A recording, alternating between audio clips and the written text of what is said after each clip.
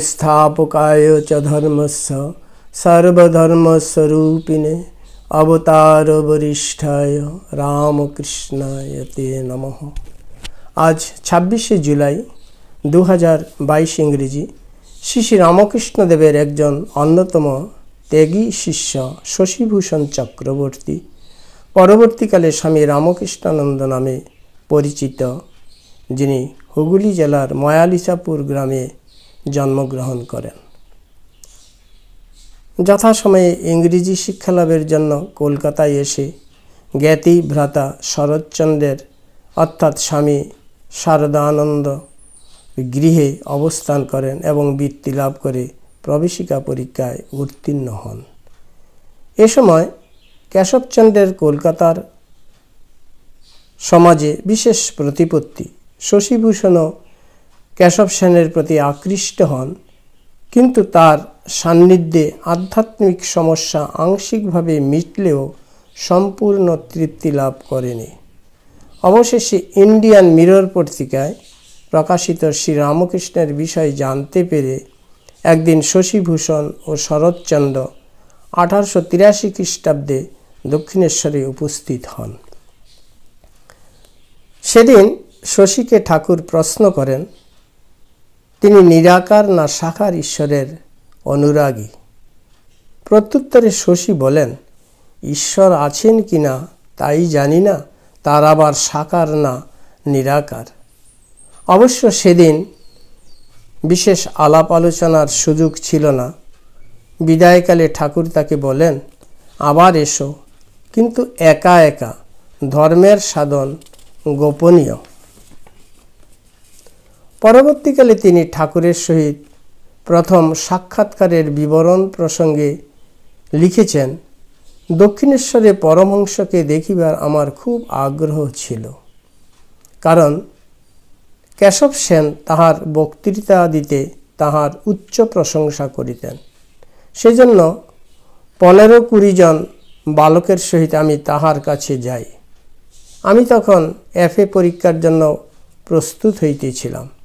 এবং অন্য সকলে প্রবেশিকা পরীক্ষার্থী।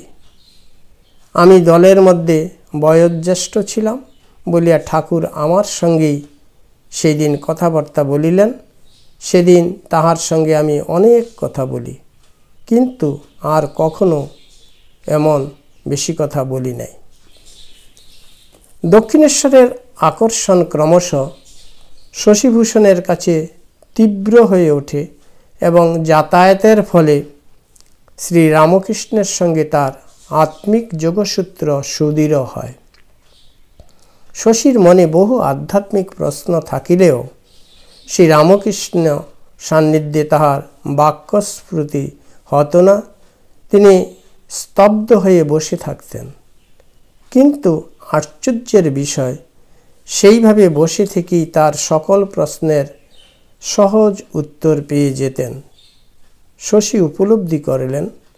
শ্রীরামকৃষ্ণ তার দিব্য অন্তর্দৃষ্টি দিয়ে প্রশ্নকর্তার অন্তরের সংশয় জানতে পারেন। প্রশ্ন না করলেও দিব্যশক্তি বলে সমস্ত সংশয়ের সমাধান করতে তিনি পারেন। শ্রী রামকৃষ্ণের সঙ্গে শশীর সম্পর্ক জন্ম জন্মান্তরের। তিনি বলেছিলেন, শশী আর শরৎকে দেখেছিলাম ঋষিকৃষ্ণের, অর্থাৎ ক্রাইস্ট দলে ছিল। শশীভূষণও বিশ্বাস করিতেন শ্রী রামকৃষ্ণই অতীত যুগের ভগবান যীশুখ্রিস্ট বলতেন, জগতের দুঃখ দেখে যিশু ক্রুশ বৃদ্ধ হয়েছিলেন, ঠাকুরও জীবের দুঃখে রোগ ভোগ করেছেন। শ্রী রামকৃষ্ণের সেবায় আত্মনিযুক্ত শশী নিজের আহারাদির প্রাথমিক প্রয়োজন বিস্মৃত হয়ে গেলে স্বয়ং ঠাকুরই তাকে বলতেন, নে খেয়ে নাও, আমি এখন ভালো আছি, আমার এখন কোনো দরকার নেই, খেয়ে এসো।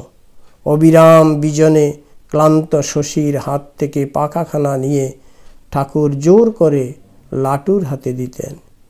এই একনিষ্ঠ সেবা দর্শনে ঠাকুর লীলা সংবরণের পূর্বে একদিন বলেছিলেন, দেখ, তোরা এই সেবা দিয়ে আমায় বেঁধে রেখেছিস।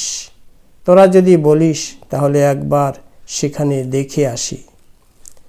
ঠাকুরের তিরুভাবের পর রামকৃষ্ণ সেবাই শশীভূষণের কাছে সবচেয়ে বড় কর্তব্য হয়ে ওঠে। তার পূজা সেবা দিতেই তিনি আত্মমগ্ন।